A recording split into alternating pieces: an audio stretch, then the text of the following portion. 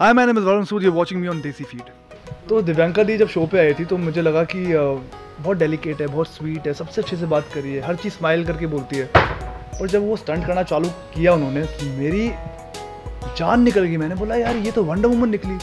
मुझे मज़ा आया इन बंच से मिलके। मुझे लगा, जैसे मैं श्वेता दी को देखता था, जब मैं छोटा था ऐसे वॉच अ शो उनके साथ काम करने को मिला, मुझे पता लगा कि वो इतनी हार्ड वर्किंग है even after achieving so much आप लोगों ने मस्तीखोर गैंग बनाया था जो काफ़ी ज़्यादा एंजॉय किया। हर मोमेंट को एंजॉयमेंट मतलब मेमोरी बनाया आप लोगों ने। तो जानना चाहेंगे आपकी कौन सी फेवरेट मेमोरी थी जो हमेशा याद रहेगा?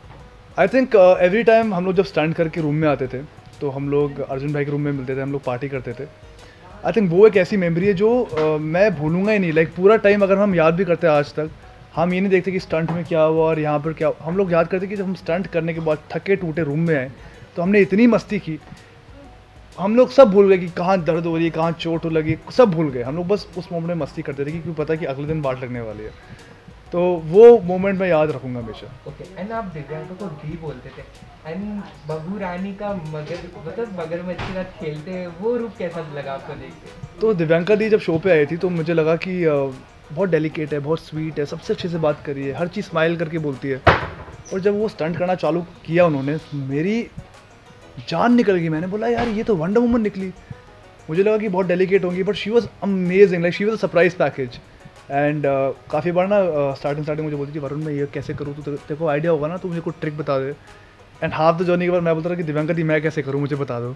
आप मुझे ट्रिक बता दो मुझसे तो नहीं पूछो आप आप बहुत अच्छा कर रहे हो। So she was like very good on the journey सभी ब्राउन मुंडे ने सभी मतलब तहलका मचा दिया सर्टलाइज फ़ोटो में दे, देखने मिला आपका विशाल का।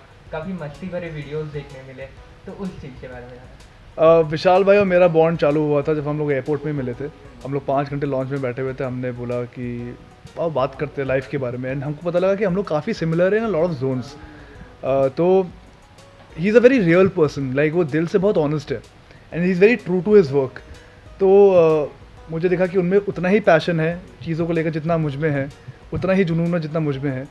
तो मेरे फ्रेंड होने के बावजूद वही मेरा सबसे बड़े कॉम्पिटिटर थे। And I like the fact कि मेरे बड़े भाई मेरे कॉम्पिटिशन है। सो so, फिर वो बॉन्ड अच्छा क्रिएट हुआ।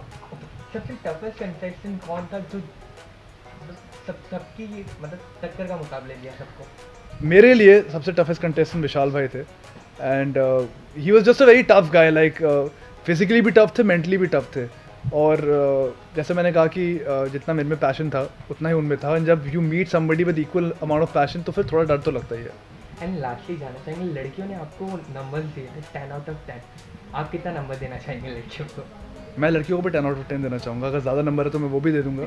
सब बहुत स्वीट थे सब बहुत अच्छे थे। एंड द फैक्ट दैट कि everybody was caring them self so well on the show they were looking good they were doing great stuff and मुझे मज़ा आया इन बंच से मिलके। मुझे लगा जैसे मैं श्वेता दी को देखता था, जब मैं छोटा था ऐसे वॉच अ शो उनके साथ काम करने को मिला, मुझे पता लगा कि वो इतनी हार्ड वर्किंग है even after achieving so much and everybody had that certain quality जो मुझे इंप्रेस कर रही थी कि Astha such a good singer still so down to earth and very hard working as in कि वो डरती नहीं थी वो औरत। अनुष्का बहुत छोटी थी, बचपन से एक्टिंग कर रही है, कभी एक्सपोजर मिला नहीं, पर यहाँ पर आके हर चीज़ ट्राई कर रही है और बहुत सही कर रही है। So everybody had that certain one spark that impress me a lot so hundred out of ten Lastly, any message for your fans?